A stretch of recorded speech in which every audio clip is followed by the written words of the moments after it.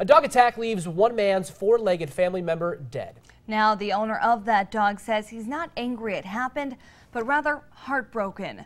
John Welton tells WOWT he lost his wife four months ago, and now he's lost her beloved corgi named Snooky. He says he lost track of Snooky for a minute, and that's when a pit bull lab mix jumped its fence near 43rd and Cass and attacked. But despite all that's happened, Welton says he doesn't blame that dog's owner. She's a nice lady. She felt bad about it. Uh, my, my heart goes out to her as well. Yeah. That owner, Kenla Snavely, was charged with destruction of property. She surrounded the dog to the surrendered the dog rather to the Humane Society, and it won't be adopted.